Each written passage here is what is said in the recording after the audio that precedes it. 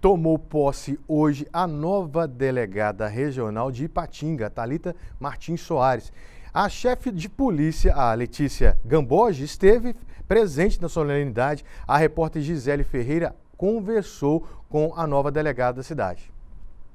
Estou muito honrada em assumir a Delegacia Regional de Patinga.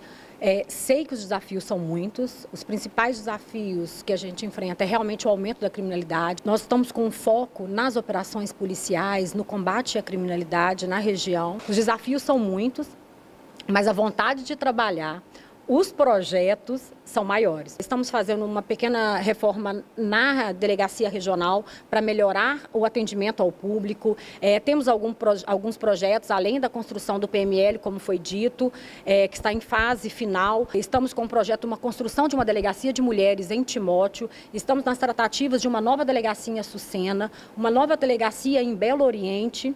É, há pouco tempo entregamos uma delegacia num modelo de alto padrão em Mesquita.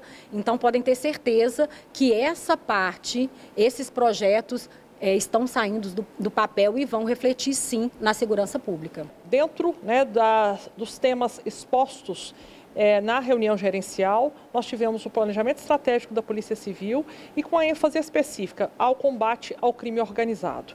Então, nós temos o compromisso com a população aqui do Vale do Aço e toda a região do 12º Departamento, no sentido de envidarmos todos os esforços e disponibilizarmos todas as questões, né, tanto a, a, a logística quanto o empenho de pessoal, especialmente as equipes especializadas da Polícia Civil, para o suporte às investigações.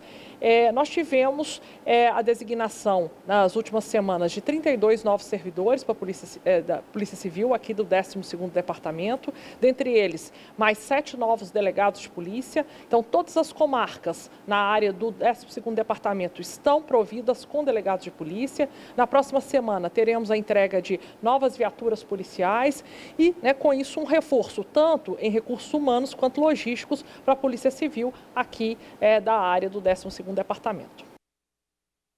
Seja muito bem-vinda, né, doutora Talita, e sucesso.